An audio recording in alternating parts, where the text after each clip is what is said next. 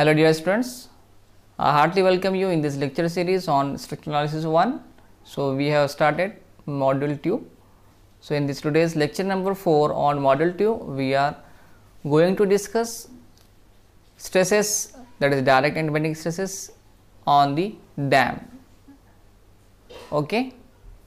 So this session will cover introduction to the dam, dam analysis of dam and forces acting on the dam.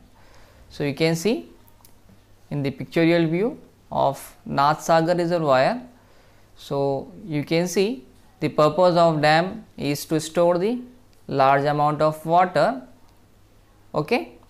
So, forces acting on column will be the weight of water and self weight of the dam. These are the major forces acting on the column. Okay.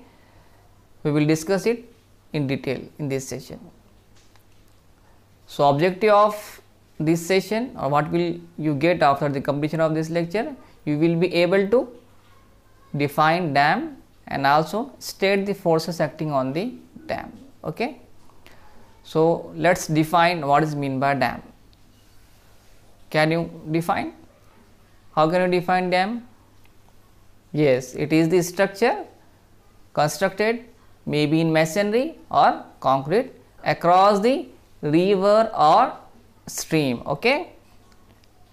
What is the function? To store large amount of water for the purpose of drinking, irrigation or maybe for power generation.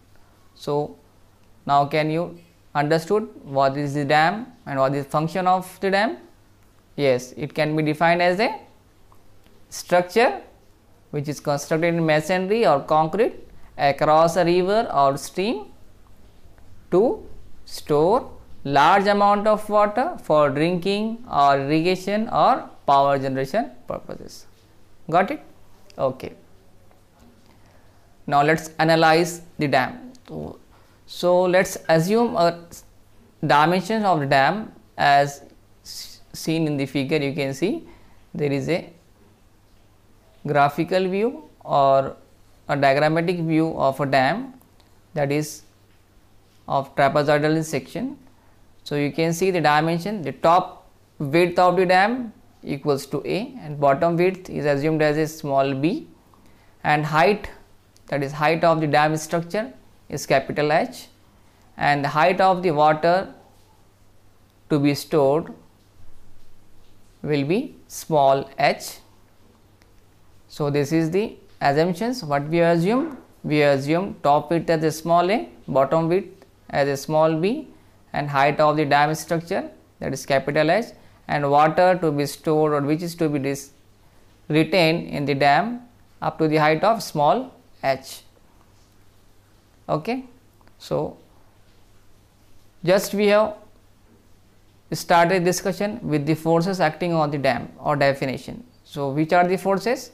Yes, forces acting on the dam will be the self weight of the dam and pressure of the water or force of the water and the resultant force of these two that is we know that the dam is constructed to store the water or to retain the water for the purpose of drinking, irrigation or power generation purpose.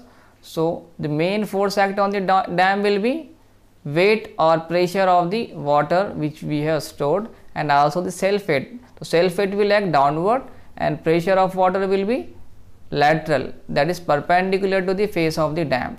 So, these two W and P may be converted as a resultant force R which will act at the base of the dam.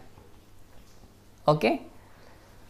You should note that for analysis we have to consider only unit length that is we will design or analyze the dam for only 1 meter of the length.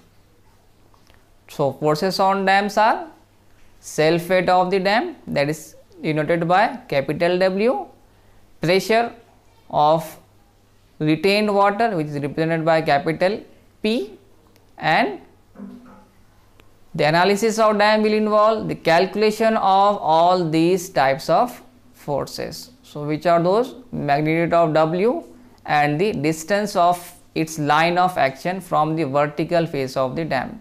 So, generally the our assumption is weight of the dam will act at the CG of the dam that is at a distance of CG from the face of the dam.